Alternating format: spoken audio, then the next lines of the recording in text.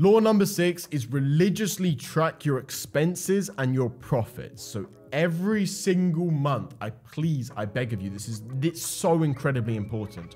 Track your expenditure, track what's going out of the accounts, and track what's coming into the accounts, and track the difference between those two things. I've made so many mistakes in the past where I haven't properly tracked expenditure, and I thought I've made $100,000.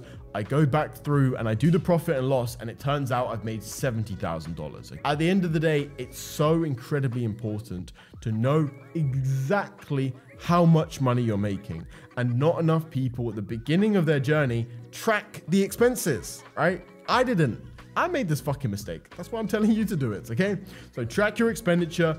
It's very easy because if you open up a business bank account or just a separate personal one and you do all the transactions through there, you can very easily see at the end of the month, download a CSV statement, put it on a spreadsheet, and you can very easily see what's going in what's going out. And you can calculate it all up and then you add in any potential stock and you see how much money the business has. Very, very simple.